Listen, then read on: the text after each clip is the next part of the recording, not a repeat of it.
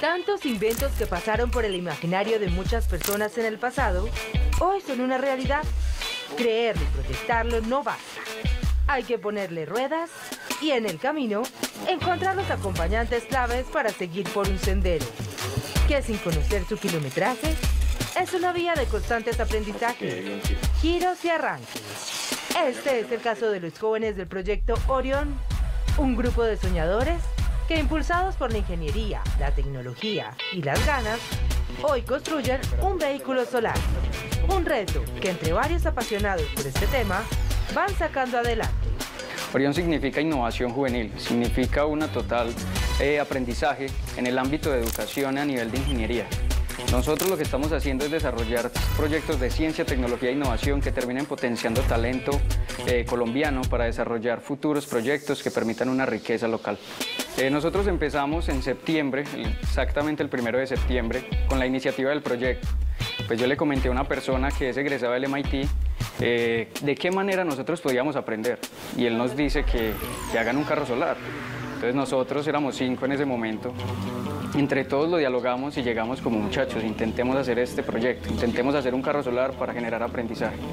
De esa manera hemos desarrollado una convocatoria y han llegado jóvenes de diferentes universidades, de diferentes universidades de Medellín. En este momento contamos con la Universidad de Medellín, EAFIT, UPB, Universidad Nacional y Universidad de Antioquia. Y así hemos hecho crecer todo este proyecto. Lo arriesgado que puede llegar a ser una competencia de este tipo exigente. Y solo una persona iría dentro del carro. Este proyecto estará en una de las competencias más importantes de Australia, una de las carreras más largas y vibrantes de estos nuevos inventores.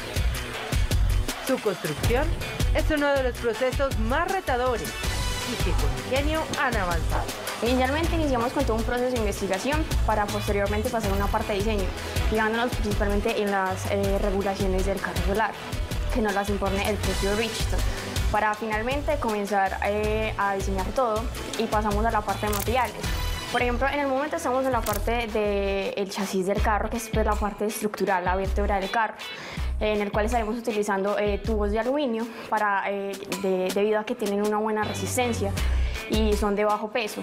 También es una manera fácil de construir, lo que llevará a un proceso mucho más fácil y mucho más rápido para la realización final del carro. La primera vez en el mundo que nosotros, pues que el trabajo de este grupo de estudiantes y más colaboradores va tomando forma para dejar nuestra bandera en lo más alto. En este momento vamos en una etapa de construcción, ya pasamos una etapa de diseño, donde pues, se desarrollaron ciertas pruebas y simulaciones para llegar a lo que estamos haciendo en este momento, que es materializar, volver esto una realidad que permita generar este tipo de aprendizaje.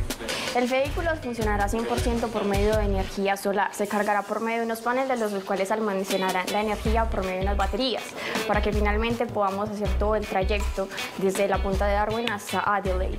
Eh, el carro eh, no tiene ningún otro tipo de carga, es 100% solar, pues eh, las, las reglas de la competencia no nos permiten ningún otro modo. El objetivo es claro y este tipo de iniciativas podrán mostrar un camino más ecoamigable con el medio ambiente convirtiendo a los vehículos tradicionales en máquinas autónomas y sostenibles. Consiste en que 40 universidades, bueno, equipos mundialmente participan en esta competencia, como lo serían, por ejemplo, el equipo de Michigan o el equipo de la Universidad de Stanford, que ambas están en Estados Unidos. Eh, y nosotros, por ejemplo, seríamos los únicos que participamos que somos de Latinoamérica. Seríamos los primeros jóvenes en lograr un reto de esta magnitud y seríamos y marcaríamos un paso grande en la historia. El objetivo con el proyecto no, eh, no es solo llegar eh, de primeros en el Bridge to Solar Challenge, que es la competencia de ingeniería en la cual estamos participando, sino solamente eh, eh, formar jóvenes, formarlos profesionalmente y personalmente, cambiarle la vida a la gente, realmente mostrar un futuro, un avance también ante la sociedad, ante el país, ante Medellín, realmente generar un cambio y ayudar al futuro. Orión no es solamente un carro solar, Orión espera hacer mucho más para el país.